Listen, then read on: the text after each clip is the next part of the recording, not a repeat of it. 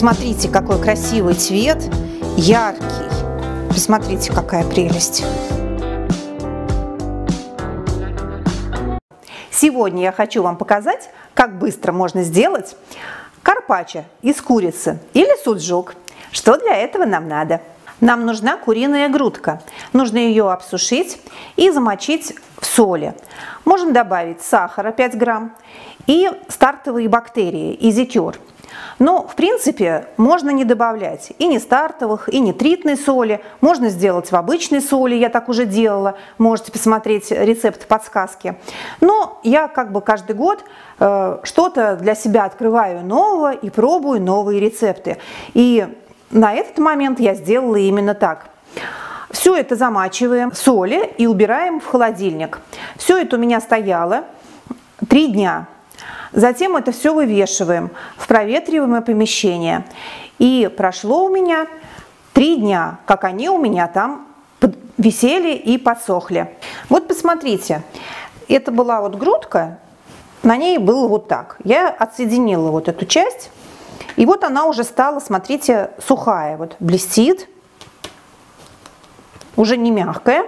Я вот эти вот маленькие кусочки хочу сделать остренькие по типу суджук. А вот эти вот кусочки, они еще, видите, не совсем высохли, еще пока мягенькие. Мы будем э, коптить по системе быстрого копчения, называется тропит, э, с подваркой. Я сначала хочу в сушилке это мясо просушить. Это можно вешать в коптилку, чтобы оно приобрела вот такой же глянец. Э, вот это, чтобы было вот таким, таким же глянцевым и более твердым. Вот, помещу я на 35-40 градусов в сушилку. У меня там хорошая вентиляция. Какая у меня сушилка? У меня есть видео, обзор сушилки, можете посмотреть. И потом я повешу это все э, в коптилку и будем холодным копчением обдувать ее дымом и я вам покажу, какой результат. А сейчас вот мы сделаем вот эти маленькие кусочки.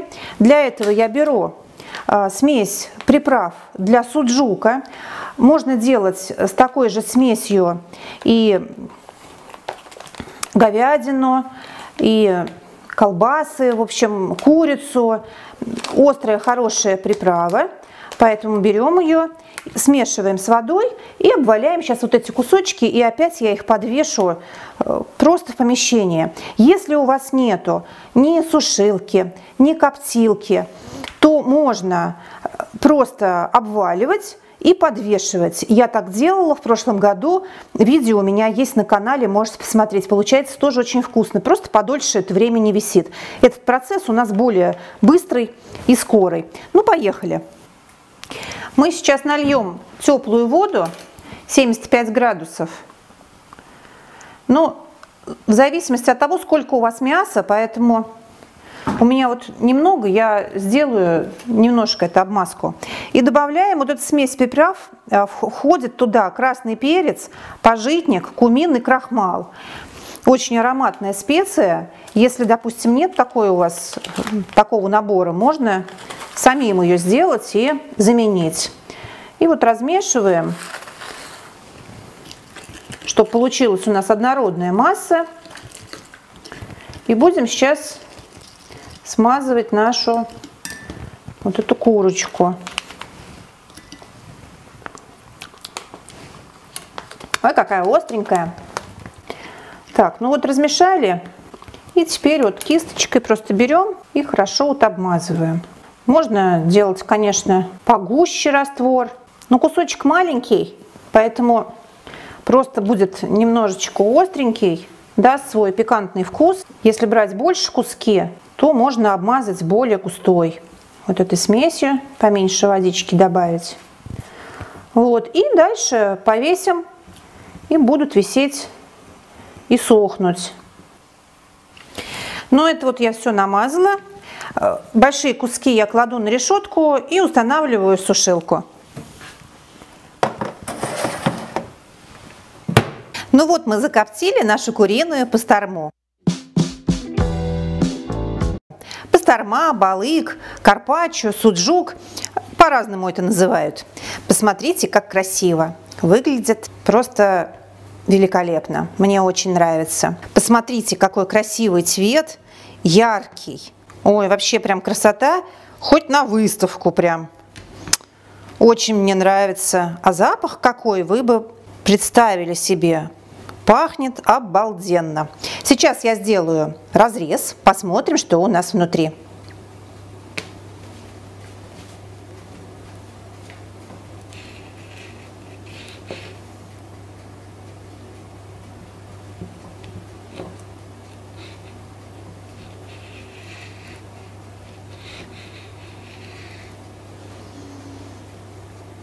Посмотрите, какая прелесть.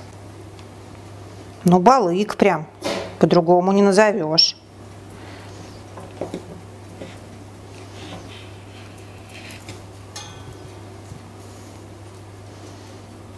Очень красиво.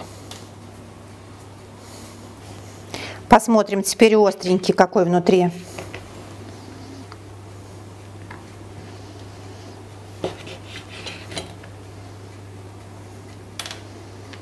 Здорово.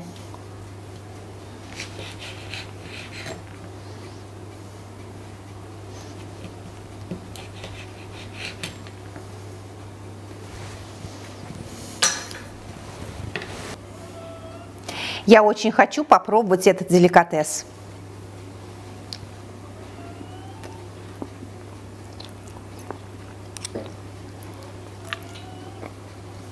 Ммм, как нежно,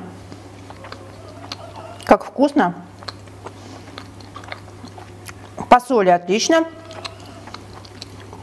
Запах просто, вы знаете, ребята, непередаваемый.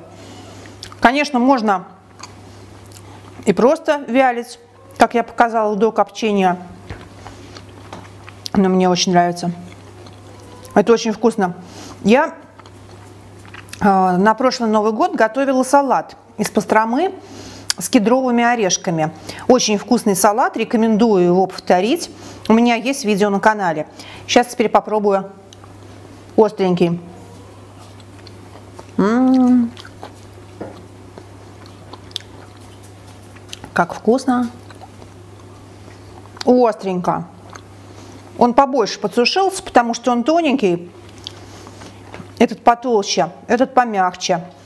Но этот остренький. Кому нельзя остренького, можно делать такой вариант без специй.